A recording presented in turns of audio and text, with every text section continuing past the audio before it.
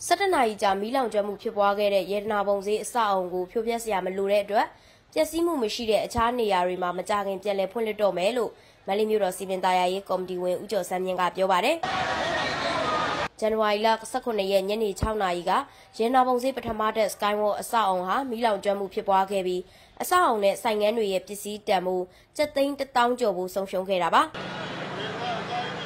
မီးစတင်လောင်တဲ့ပထမတက်တာပျက်စီးမှုရှိပြီးအခြားနေရာတွေမှာပျက်စီးဆုံးရှုံးမှုကြီးကြီးမားမားမရှိတဲ့အတွက်အဆောက်အအုံတစ်ခုလုံးကိုဖြိုဖျက်စရာမလိုပဲမူလအတိုင်းပြန်လည်ဖွင့်လှစ်နိုင်တော့မှာဖြစ်တယ်လို့သိရပါဗျ။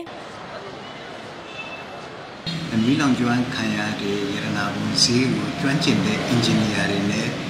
ကျွန်တော်စနစ်တကျပြန်လည်စစ်ဆေးနေစေဖြစ်ပါတယ်။စစ်ဆေးပြီးတဲ့နောက်မှာကျွန်တော်တို့အခုတွေ့ရှိချက်ကတော့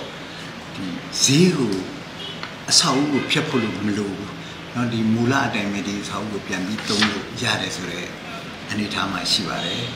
အဲနောက်တစ်ချက်ကတော့အဲကျွန်တော်တို့တချို့နေရာတွေမှာတော့ကြန့်ခိုင်မှုအားနည်းသွားတဲ့နေရာတွေရှိတယ်အဓိကအပြင်မီးလောင်ကျွမ်းခံရတဲ့ပထမတက်ကကျမ်းပြင်နဲ့မင်းချက်အဲ့ဒီအပိုင်းမှာကြန့်ခိုင်မှုအားနည်းတဲ့နေရာအနည်းဆုံး9နေရာလောက်ရှိတယ်အဲနဲ့တချို့ထုတ်တန်းတွေလည်း နည်းနည်းအားနည်းသွားတာဒီအကြောင်းပေါ်တာတွေရှိတယ်အဲ့ဒါတွေကိုတော့ကျွန်တော်တို့ဒီကျွမ်းကျင်တဲ့အင်ဂျင်နီယာတွေနဲ့ထပ်ပြီးတော့ကျွန်တော်တို့စနစ်တကျတည်တည်ချာချာစစ်ဆေးမယ်စစ်ဆေးပြီးတော့မှပြုပြင်မှာဖြစ်ပါတယ်မြင်ညီတက်ကတော့ကျွန်တော်တို့လည်းပြန်တော့ဘာမှမဖြစ်ဘူး အဲတိုးတော့ကျွန်တော်တို့မင်းငိမ့်တက်တဲ့ခါမှာရေတွေဝင်တဲ့အတွက်ကြောင့်မလို့တွေ့တန်းတဲ့လက်စစ်ကျိုးတွေကြားထဲမှာရေတွေဝင်နေတာရှိတယ်နောက်တစ်ခါဒီအကြောင်းတွေဆက်ကြောင်းတွေကြားထဲမှာရေတွေဝင်နေတာရှိတယ်ဒါကြောင့်လျှက်စစ်သုံးမယ်ဆိုလို့ရှိရင်အန်ဒရဲမပြင်းဘူးဒီအတွက်ကြောင့်မလို့ကျွန်တော်အဲ့လျှက်စစ်ကျိုးမူလကျိုးဟောင်းတွေကိုကျွန်တော်ရာရာဖြင့်မသုံးမနဲ့လျှက်စစ်ကျိုးအစ်စ်တွေ့တမ်းမယ်တွေ့တမ်းပြီးလို့ရှိရင်အဲ့ဒီ ဆိုင်တစ်ဆိုင်ကိုမီးတပွင့်တဲ့ဥပမာကိုအောက်ထပ်ဖြစ်နေတော့ဟိုတန်ကာတစ်ခုလောက်တော့ကျွန်တော်တို့သုံးဆွဲနိုင်အောင်စီစဉ်ပေးမှာဖြစ်ပါတယ်အဲ့ဒီလက်စစ်ကြိုးတွေတွေ့တန်းပြီးသွားတာနဲ့တပြိုင်နက်မကြခင်မှာပဲမြင်းကြီးဓာတ်ကိုမူလဆိုင်ရှင်တွေမူလအတိုင်းပြန်လဲဖွင့်လက်ခွင့်ပြီးတော့မှာဖြစ်ပါတယ်တိတ်မကြတော့ပါဘူးတို့ဒီ engineer ကျွမ်းကျင်တဲ့ engineer တွေနဲ့ဟိုကျွန်တော်တို့သုံးသက်ချက်အရာပါနော်ဆက်လက်ပြီးတော့လဲ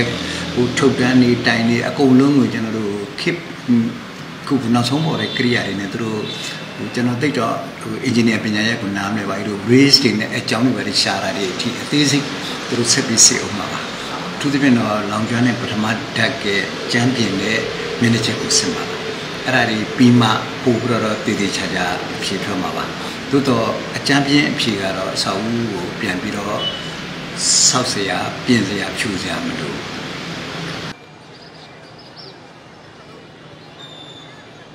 မြင်းကြီးတက်နဲ့ Diamond Plaza ဘက်နေရာတို့မှာမကြမီပြန်လည်ဖွင့်လှစ်နိုင်မှာဖြစ်တယ်လို့သိရပါတယ်။ရန်နာပုံစည်းအဆောက်အုံမီးလောင်ခဲ့မှုကြောင့်ဈေးအဆောက်အုံပြန်လည်တိစောက်ရေးဈေးဆိုင်ငံများစနစ်တကျပြန်လည်နေရာချထားနိုင်ရေးနဲ့မီးလောင်ရတဲ့အကြောင်းရင်းတို့ကိုသိရှိဖို့အတွက်ကော်မတီ6ခုဖွဲ့ပြီးစစ်စစ်သွားမယ်လို့သိရပါတယ်ရှင်။